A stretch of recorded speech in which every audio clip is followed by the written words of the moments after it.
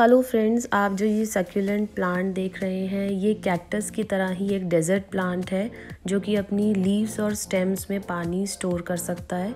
इन्हें सनलाइट बहुत पसंद है और इनको पानी तब दें जब सॉइल की टॉप लेयर ड्राई हो जाए, तब आप इनको पानी दें। ओवर वाटरिंग अगर आप करेंगे तो जो इनकी रूट्स है, वो गल जाएँगी। और इनको किसी तरह का फर्टिलाइज़र की कोई ज़रूरत नहीं है। और ये जो प्लांट है, ये बहुत इजीली हम मल्टीप्लाई कर सकते हैं। इन्हें कटिंग से भी हम मल्टीप्लाई कर सकते हैं।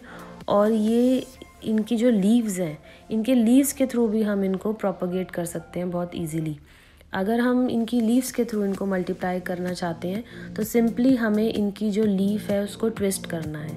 उसके बाद हमें कुछ दिन का वेट करना है ताकि इनकी लीफ पर कैलस डेवलप हो जाए और थ्री फोर डेज़ के बाद जब इनकी लीव्स पे कैलस डेवलप हो जाएगा तो कुछ दिनों के बाद ही इनमें से रूट्स निकलनी शुरू हो जाएँगी।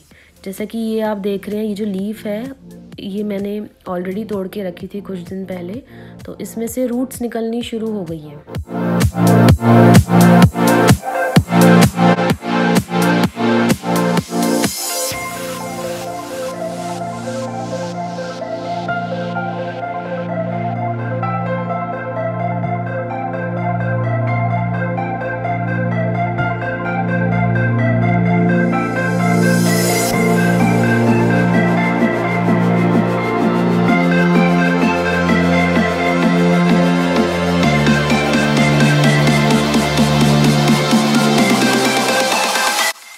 जब ये लीफ ऐसी स्टेज पर पहुँच जाए कि इस लीफ से एक हेल्दी प्लांट ग्रो होना शुरू हो जाए तो आप इसे बड़े कंटेनर में ट्रांसफ़र करें और ऐसी जगह रखें जहाँ इसे प्रॉपर सनलाइट मिले।